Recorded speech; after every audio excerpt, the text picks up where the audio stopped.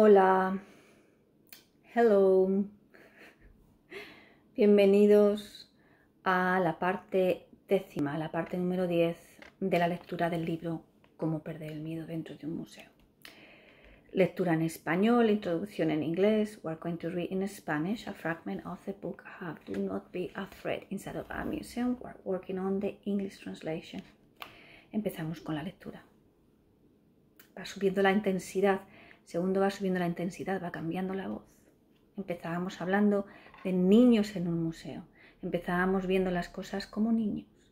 Y poco a poco la historia se va transformando fuera del mundo de los niños. Seguimos.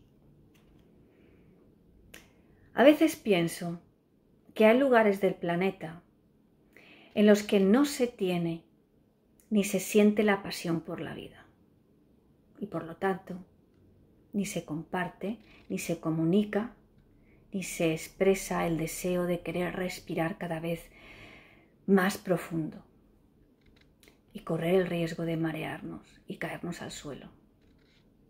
Se vive envuelto en un celofán fino, pero fuerte, que hace ruiditos cuando nos tiemblan las rodillas. Se pisa asfalto, se suda en plástico, ni se mira, ni se quieren ver las cosas.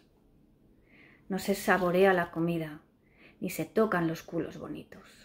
Se tiene de todo y se olvida uno de gritar por lo que no es justo, por lo que nos quitan. Tell me, o cuéntame, que yo no diré nada si tú no quieres porque aquello que se calla es lo que nunca se olvida.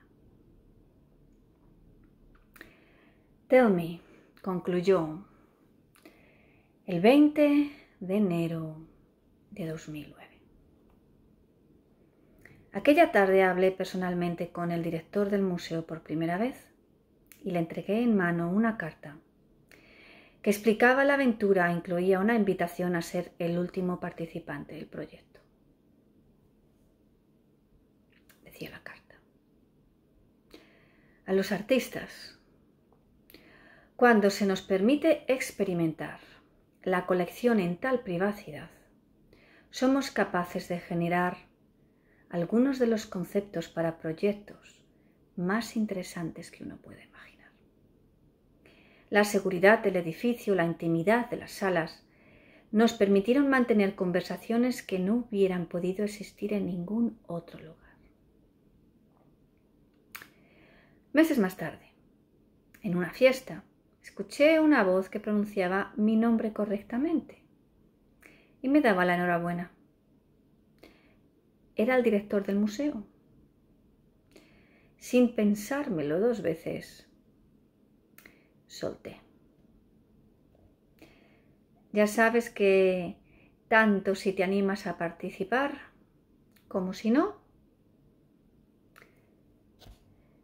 nadie lo sabrá nunca con certeza porque lo que grabe tu institución no podrá hacerse público, aunque quieras. No contaré si acudió o no acudió a la cita. Lo que sí diré es que la única vez que se, comunicó conmigo por email fue para comentar el gol que metió la selección española en los últimos mundiales de fútbol.